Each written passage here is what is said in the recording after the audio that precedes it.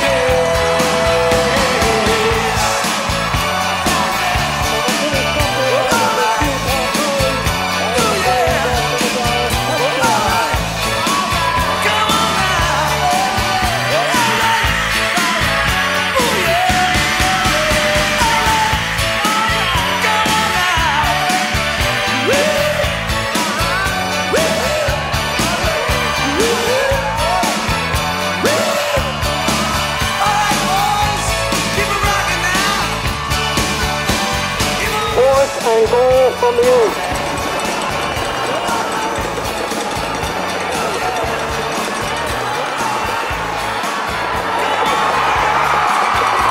Nowitzki's pass is tipped by number 10, Bobby and the Mountaineers take over down. And finally, we'll close out this week's version of our great plays with Hustle and Heart. This time it's from Dallas's Ted Jackson. Okay, this isn't a problem. I'll just make you miss. Now you, you're not taking me down. A spectacular effort from Dallas's Ted Jackson.